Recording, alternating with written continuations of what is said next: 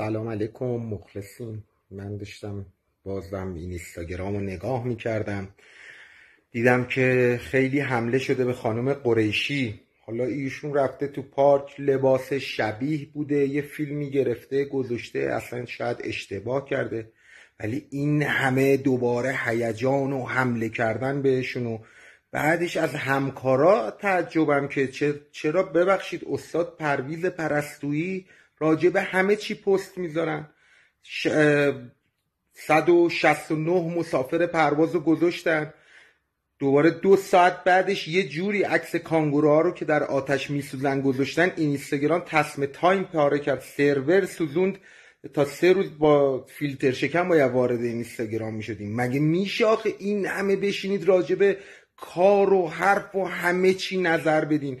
بابا یارو اصلا شاید منظورش این نبوده. چقدر آخه شما آدمای خوبی هستین. چرا انقدر می‌خواید بگید ما خوبیم ما فهمیدیم ما می‌فهمیم؟ داره میگه لباسم شبیه اینه. مگه گفت آی آی چقدر زشت که لباسم شبیه ایشونه. مگه مثلا مسخره کرد اذیت کرد؟ داشت میخندید خوشحال بود گفتش لباسم شبیه اینجوری نکنید. واقعا با مغز و زندگی و اعتبار و آبرو و حیثیت مردم اینقدر بازی نکنید. بعدش هم همکارای محترم خودمون هیچکی اشتباه نمی‌کنه. هیچکی مثلا نمیاد با یکی شوخی کنه که بعدا بیان میگن چرا با این شوخی کردی؟ بعدش هم اینجوری به نظر من دارید بدتر شما چیز می‌کنید. مگه ما تا حالا با دکتر شوخی نکردیم با مهندس شوخی نکردیم حالا با پارکبان و پارک نمی‌دونم نگهدار و باغبان و معمور شهرداری و با اونم شوخی کرده گفته لباسم شبیهشه.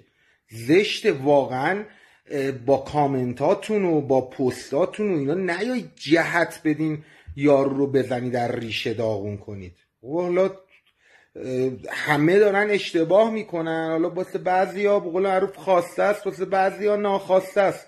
واقعا مگه مثلا اون موقع که خانم قریشی داشته این کارو می‌کرده فکر کرده که خب من اینو الان مسخره کنم اینو آبروشو ببرم؟ که بعد مثلا یکی پاشه با دست گل بره و یکی بگه احضار می‌کنیم اون بگه نمی‌دونم آی آبرو ریزی شد. مگه ببخشید مثلا پا میشن میرن مناطق سیل زده دارن کمک می‌کنن فیلم می‌گیرن. اون بدتر نیست که یارو نشون میدن. مثلا می‌خوام میگن ببخشید دور از جون دور از جون.